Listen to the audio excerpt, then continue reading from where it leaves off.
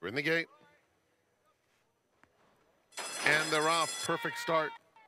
Renegade Princess. Here's Flatter with Jules and Vandalia moving right together after the lead. And Lucy L comes away in fourth. If You Want It is next. Big Bell at the back of the field. Flatter with Jules narrowly with Vandalia length back in second. Then it's Lucy L, a clear cut third, and Renegade Princess at the rail is now in a little bit tight fourth, two lengths off the pace. Another two back to If You Want It and Big Bell. They have five and a half furlongs to go and it's flatter with Jules, three quarters of a length to Vandalia.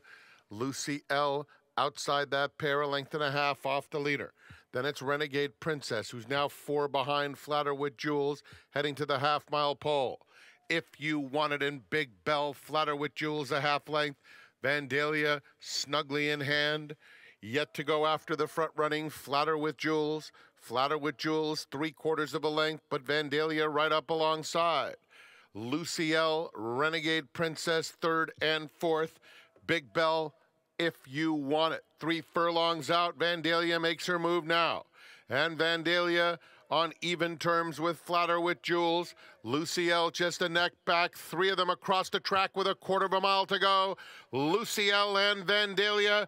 Flatter with Jules, white blinkers game at the rail, and now Flatter with Jules and Lucy L go on. Vandalia softened up. Renegade Princess in Fort. Lucy L, Flatter with Jules to the wire together. Lucy L and Armando Aguilar on the outside. Flatter with Jules and Giovanni Franco nose to nose, and Lucy L has her. Luciel prevails over Flatter with Jules. Renegade Princess finished with good energy third.